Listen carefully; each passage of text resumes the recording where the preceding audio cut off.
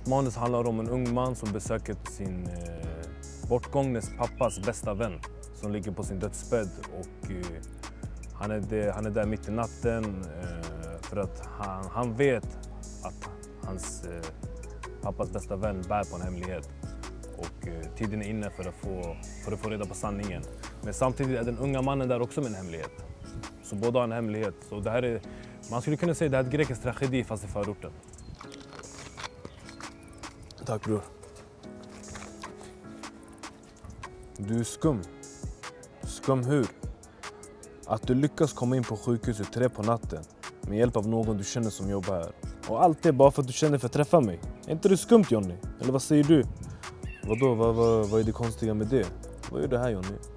Jag vill bara hälsa på dig har jag sagt. Jonny? Ja? Sluta prata med mig som om jag vore en pissluffare. Walla amo, jag fattar inte. Vart har du varit de två senaste månaderna? Varför har du inte hälsat på tidigare? Teaterresidensen gav mig eh, möjlighet till att eh, lära känna karaktärer. Alltså med hjälp av dramaturgen Elsa eh, så gav hon oss praktiska uppgifter att jobba med karaktärer. Och jag hade aldrig tänkt på det så. Jag har sett mycket, alltså mina favoritregissörer som pratar om hur deras karaktärer pratar om sig själva. Och jag fattar, jag bara, det här är någon skitsnack, det är inte sant.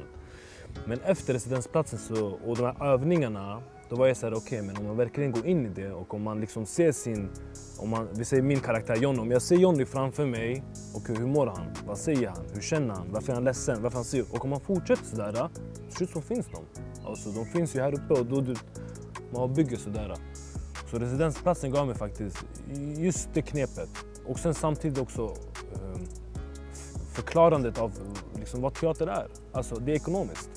Du kan inte ha mycket dialog, dialog, dialog, dialog, dialog för då blir det bara massa moralsnack, moralsnack, moralsnack. Du behöver ha två, tre meningar, undertext, bam, låt publiken tänka. Typ så.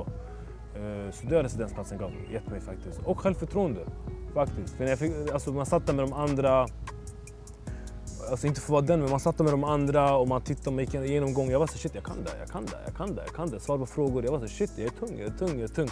Och det där självförtroendet gjorde så att jag också växte i mitt konstnärskap och blev mycket mer bekväm med vem jag är. Och sen vem jag är som konstnär, jag tror det är en evig fråga. Alltså, jag tror det kommer... Vem får se vad som händer med Jag kanske tappar det till slut. så, uh.